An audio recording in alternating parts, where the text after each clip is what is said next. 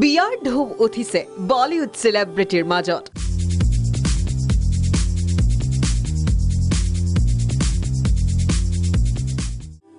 পূৰ্ণতা প্ৰাপ্তিৰ দিশে বলিউডৰ দুই প্ৰেমিক যুগৰ প্ৰেম কাহিনী। জোৰদাৰ আয়োজন চলিছে দুয়োখন বিগ ফেট ৱেডিঙৰ। দুহেজাৰ চৈধ্য চনতেই আৰম্ভ হৈছিল সেই প্ৰেম কাহিনী। নাছিল কোনো ধৰণৰ লোক ঢাকো वजह तुम हो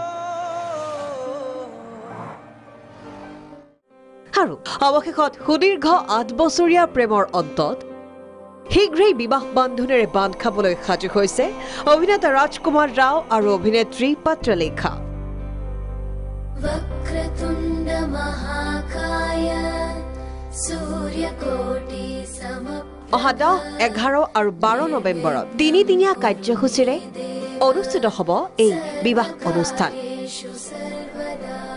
দুয়োগৰাকী অভিনেতা অভিনেত্ৰীৰ পৰিয়ালবৰ্গ তথা ঘনিষ্ঠ বন্ধুবৰ্গৰ উপস্থিতিত মুম্বাইত যুগ্ম জীৱনৰ পাতনি মেলিব ৰাজকুমাৰ আৰু পত্ৰালেখাই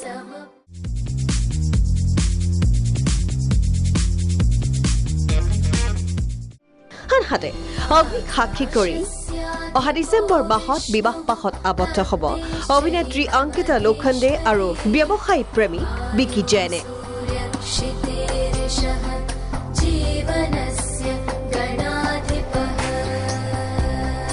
মুম্বাইৰ এখন পঞ্চতাৰকাযুক্ত হোটেলত অহা বাৰ তেৰ আৰু চৈধ্য ডিচেম্বৰত যথেষ্ট আড়ম্বৰপূৰ্ণভাৱে অনুষ্ঠিত হ'ব অংকিতা আৰু বিকিৰ বিবাহ অনুষ্ঠান।